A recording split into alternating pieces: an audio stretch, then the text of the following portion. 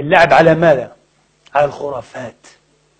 على التفكير البدائي التفكير غير العقلاني. هذا حديث مهم جدا جدا.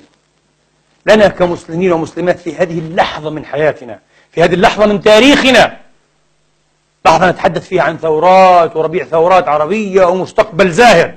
وأنا أقول لكم لكنه ملغوم ملغوم ملغوم.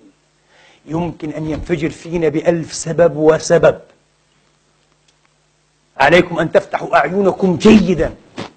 يقولون لكم لماذا يتحدث هذا الشيخ عن علماء أهل السنة؟ كأنني من علماء أهل البدعة.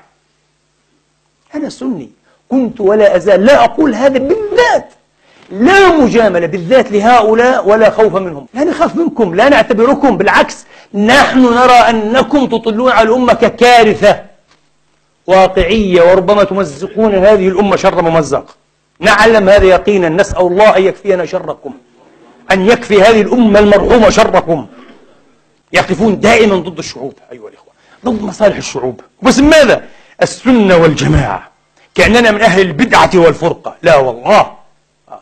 لماذا لا يتكلم عن علماء الشيعة؟ يا رجل هم يظنون أننا نتكلم لكي نتكلم. يا أخي نحن لا نتكلم لأجل أن نتكلم. نتكلم لأجل أن نصلح. أنا الذي أرنو إليه وأريد وأتغيأ أن أصلح في هذه الأمة. أصلح أمتي. التي قضيت عمري وأنفاسي من أجلها ومن أجل عزها وكرامتها. حياتي كلها أقضيها من أجل هذه الأمة لا من أجل نفسي كفرد. أريد أن أصلح. كيف أصلح؟ أسب الشيعة؟ أستطيع أن أسبهم. كما تفعلون ليل نهار. والنتيجة؟ مزيد من التوتير مزيد من الأحقاد مزيد من إيه؟ الألغام التي ستنفجر فينا لا أريد هذا وقلت مرات لا لن أقول عشرات لكن مرات ومرات أنا أرتقب من إخوان الشيعة أريد أن أرى علماء ودعاء أيها الإخوة ومفكرين شيعة أيقاظا يحدثون جماهيرهم أيضا عن أخطائهم وعن خرافاتهم وعن بدعهم أه؟ وعن ضلالاتهم كما أفعل أنا مع أهل سنتي ألم أقول هذا؟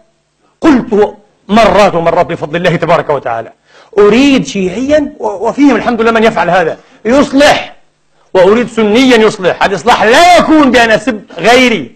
أن أسب الشيعة. أسب الشيعة. ما الذي يحصل؟ هذا ليس إصلاحا. كذب هذا.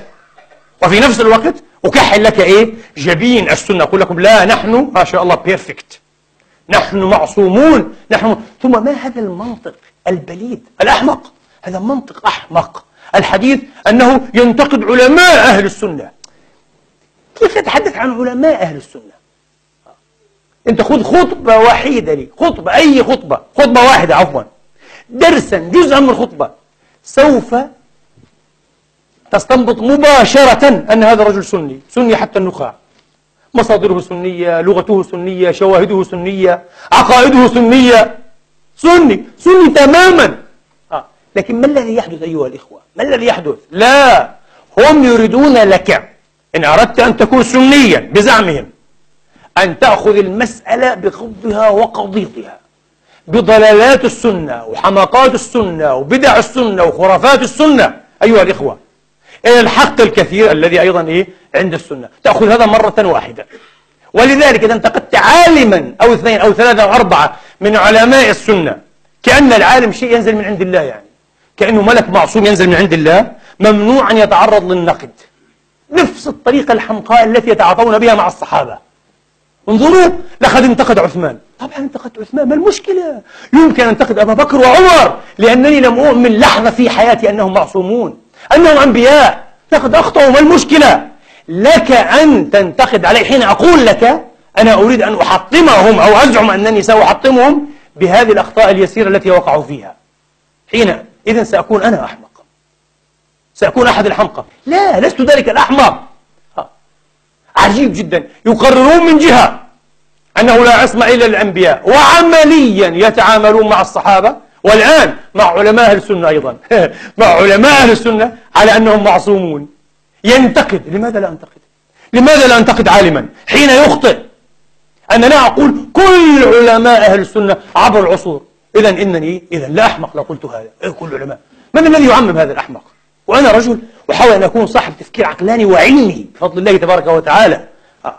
لا أفعل هذا. لم أفعله مرة ولن أفعله. ومحال أن يفعله عاقل. لا ينتقد علماء. لأنك انتقدت إيه؟ عالمين ثلاثة أربعة عشر عشرين. من بين عشرات الألوف الذين استفدت منهم واستشهدت بهم. ها؟ وهم مصادرك. ممنوع. ممنوع أن تنتقد. لا تنتقد صحابيا ولا تنتقد عالما. يبدو أن عيونهم على إيه؟ على أنفسهم. حتى إيه؟ لا يطالهم النقد.